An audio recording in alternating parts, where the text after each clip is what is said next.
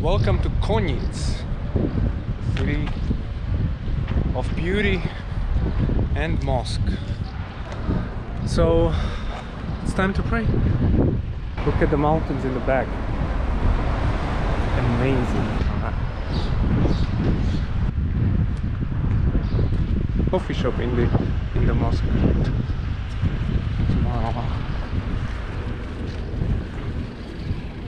Go and pray, bro. Look at the wooden spots. They just prayed, just prayed Asr. I couldn't make it. Sorry, Dur. I couldn't make it, so I'm just gonna do it on my own.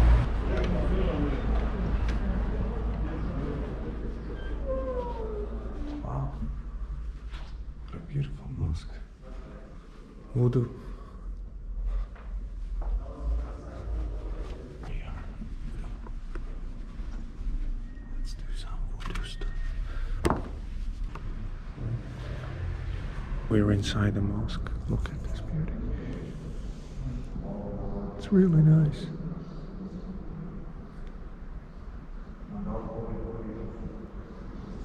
It's really amazing. Such a big mosque for such a small town. Pretty cool. Some rivers, some mountains.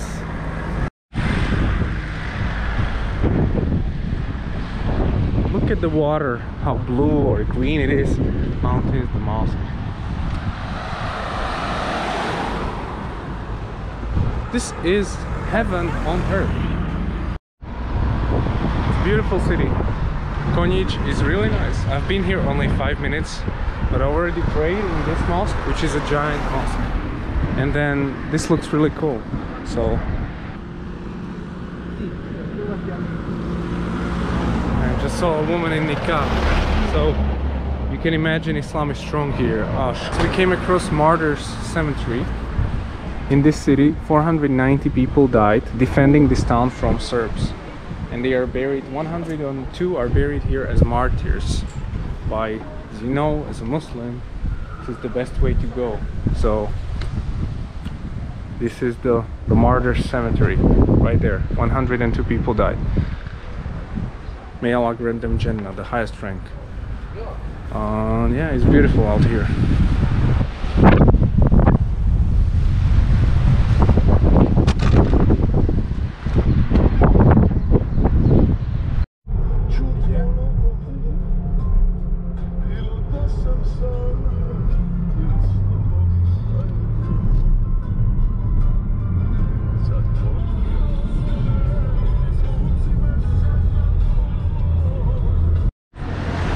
Up everybody? We're in Trebinje, in Republika Srpska, which is an autonomous republic in Bosnia and Herzegovina, mostly run by the Serbs. You can see the mountains in the background, but not many Muslims, of course.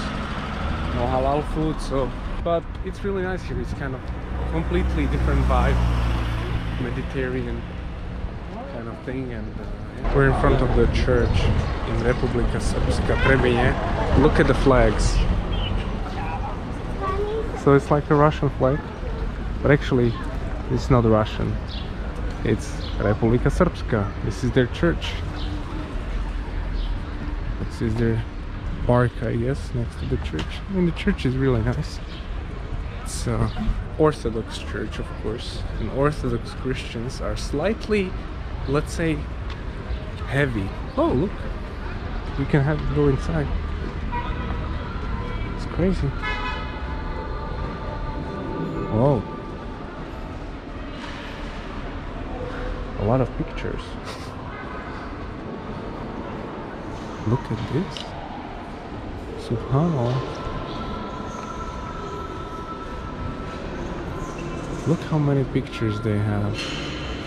We've got the cheeses, the saints. It's funny when Muslims say like Orthodox Christians are closest to them, but they were the ones who genocided them, Serbians. Strange.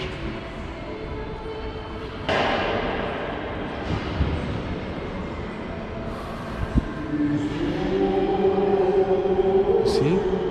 they are doing these chants or your Look this guy. Beard. Wow.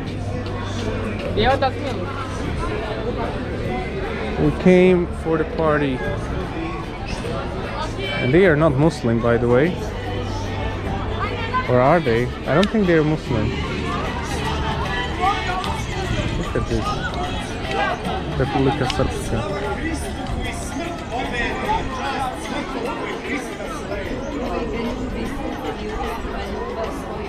Yeah. You can see the Orthodox nuns wear cross and hijab. Even the men have beards. Like it's by that standard, I would say it's closer to Islam because it's very similar. But of course, a lot of shirk, a lot of bad things are happening, and they hate Muslims. So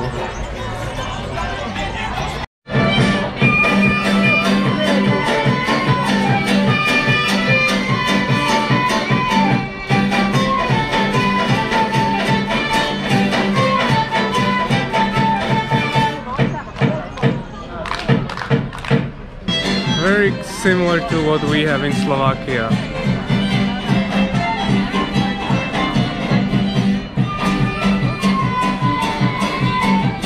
Check it, beautiful park. We have a church there. Kids, family vibes, Orthodox Christian family vibes. Really nice trees, I gotta say. But yeah.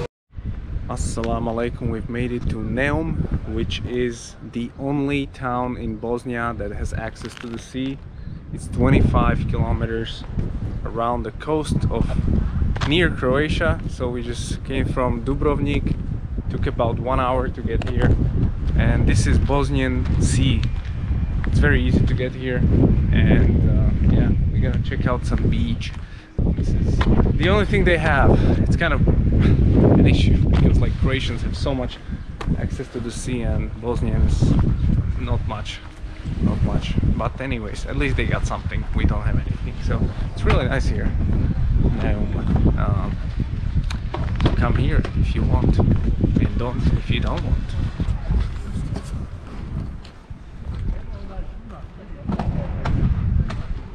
Check it out guys people are already swimming. Should we go for it? The sea looks good. Subhanallah. I haven't been near the sea since the Turkey trip in Antalya which was about six months ago so first time after that time that I'm seeing the sea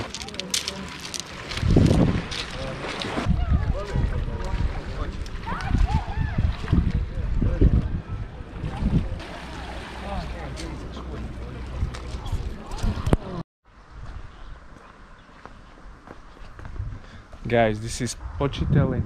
The city was built in the 15th century. We're gonna go check out the mosque if we can pray.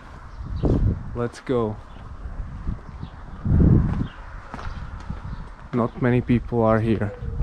We're in Počitelj and we're in, in front of the biggest mosque. The city was used as a madrasa and Islamic judge used to sit here in the 14th, 15th century and people from Egypt would come here to learn about Islam. Now it's nothing, this city, no one lives here, but it's beautiful. These are some old ruins, I guess. Haji Al-Jina Jami, 1562. 500 year old mosque. They destroyed it crazy. Yeah. This is the wudu spot. Let's go. Let's try it out. So it's close but i can pray over here inshallah. So i just prayed and uh, i don't actually think i prayed in a more beautiful place. Look at this. The tree the mountains this is the old mosque. So they destroyed this one in 1993 during the war. Serbians destroyed this mosque but they rebuilt it in 2005 this was a 500 year old mosque dude. Check it out. It was destroyed in august 1993 rebuilt in 2005 500 year old mosque. Inshallah it all prevailed. Look at it it's a pity we can't go inside but it's perfect to to pray here. I mean this is beautiful. Like i love this. I love the ottoman style or bosniak or i guess it's ottoman style of architecture of these mosques. It's so beautiful. Uh, i've seen some other ones but you know ottomans have their own unique style and uh, i definitely vibe with with it. Vibe i mean i don't think it's the most important how the mosque looks but it's definitely like architecturally a good thing to have things even outside to pray. You know if you live in a warm country it's beautiful. You can do wudu outside and pray outside. It's amazing. Uh, but doesn't matter how many mosques you have in your country. If they are empty or if people are doing shirk and bidah in those mosques then it's not about the, the mosque you need to develop people. And that's key what's missing in the ummah development of people. So let's focus on that. You can do that without a mosque